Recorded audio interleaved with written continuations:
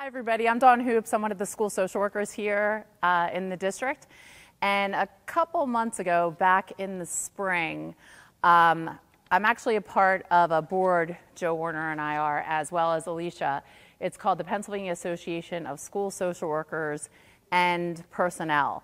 Um, we had a big conference in Hershey two, week, uh, two weeks ago or last week where actually um, Joe Werner was going to be presented with the Social Worker of the Year award.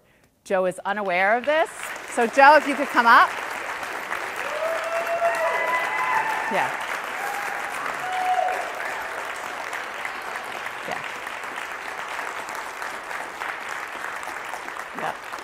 Joe, Joe is unaware of the award that he was going to be presented with this award. Um, nominations go across the state, and it started last year in March. So, um, how it works is social workers from across the state nominate individuals, and then there certainly is one that rises to the top.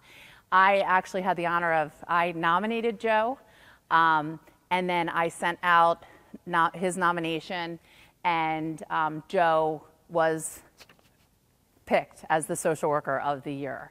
Um, it is a huge, huge honor. And like I said, he was going to be presented with, you were going to be presented with the award at the, in Harrisburg with state officials, but Joe got sick. So Joe did not come. Um, a lot of the administrators here were coming to see Joe get the award, um, but they did not they were unable to do that because Joe was sick. So we decided to do it here today. Um, I wanted to, I think, our, where is Alicia Landgraf? Okay. I have two students that I'd like to call up, Amanda and Chloe. And as they're coming up, I just kind of wanted to let you know what I had um, talked about when I had made the nomination for Joe. Um, what I wrote was Joe is the definition, if there is one, of social worker of the year. He goes above and beyond in everything that he does for his students, school, community, and county in which he works. He is humble and never boasts about what or how he is making an impact. He stays extra long hours to help students, parents, colleagues, or even community members. He does this almost every single day. And I'm sure that folks who stay late know that.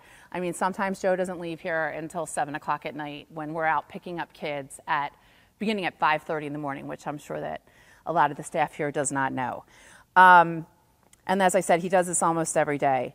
He always has someone else's best interests in mind. He tries to get creative in ways to lend support if support is not available, and he is usually successful. He never complains, and he always is positive. Joe does countless things outside of his job description to make our district a better place. Joe makes kids feel special by celebrating their birthdays and their successes. This year, or actually last year, we have, and I'm sure that you have been touched by things that Joe has done. One of, um, and I'll give you just a quick little example. Last year, we had a young man who um, actually was a homeless individual. He wanted to go to prom. He had no money to go to prom. So with the help of some of our staff here, we were able to get a ticket. Joe went above and beyond to make sure that this young man, this six foot seven, size 14, size 14 shoe, uh, huge uh, young man, got a special sized, custom made tuxedo so that he could go to the prom. I see, I see you nodding your head, head there. Um, we, have we, have a great picture. And um, Joe went down, he picked up the suit, he made sure that everything was done. We had transportation. And when I tell you how happy this individual was, it was, it was beyond belief. He was one of the kids who he said, Oh, I don't want to go. I don't need to go. And it was because he didn't have the money, he didn't have the transportation, and he didn't have the clothes to fit him. So in the beginning, we were like, just wear whatever you want. It doesn't matter. Just wear a button down shirt. It really doesn't matter. But like I said, Joe wanted to make him feel a part of the school community. So he went above and beyond. And when I tell you that this is a lasting, a, a lasting rite of passage for this kid that Joe made happen, he will remember it for the rest of his life. His mom has countlessly thanked us over and over and over again. Joe does things like this all the time. I am new to the district. I've only been here a little bit over a year. I've known Joe for a long time, um, since I was a teenager. and um, just to work with Joe makes me a better professional. It makes me a better person. I learn things every single day through Joe's kindness, through how he talks to individuals, how, how your voice is. I mean, I learn from you every single day, and I thank you, and I really feel honored not only to give you the award, but to be your to be your, your partner and your colleague. So, I yeah, congratulations.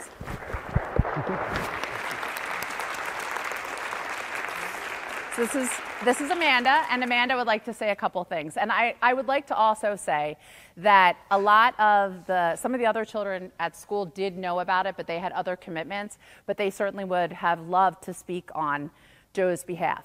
And just quickly, I'm going to tell you a, a, little story.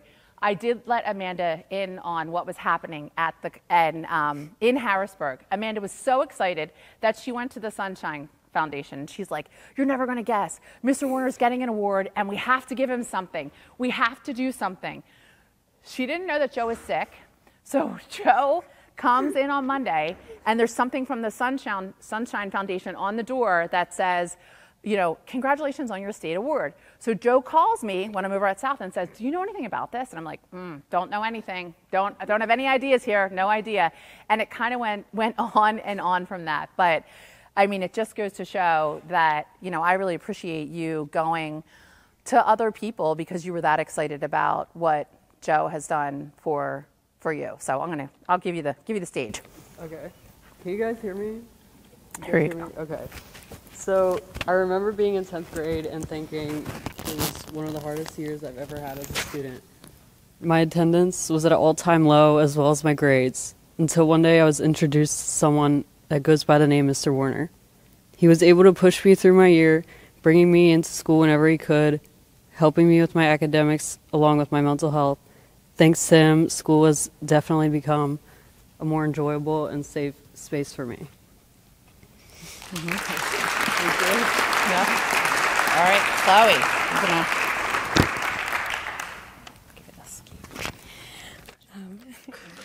So I was thinking of a quote um, we rise by lifting others. It's something we, we really have all heard um, somewhere, whether it's on a t shirt or a billboard on a road. Um, it brings to mind those people in life who really live for others and are um, the embodiment of servant leadership. So, Mr. Um, Werner is one of those people. He has an extremely kind heart to always place the needs of others above his own. He's an advocate for the mental health and the well being of Pennridge students and works tirelessly to make each person he encounters feel welcomed and loved. We are truly so blessed to have you here at Pennridge High School, Mr. Werner. Thank you so much for all you Thank do. You. Thank you. Thank you. All right. And I wanted to thank everybody for staying a couple minutes today just to honor Joe. Um, Joe, Thanks. here's here's your uh, your beautiful award oh. for Social Worker of the Year, which is well deserved. So, congratulations. Thank you.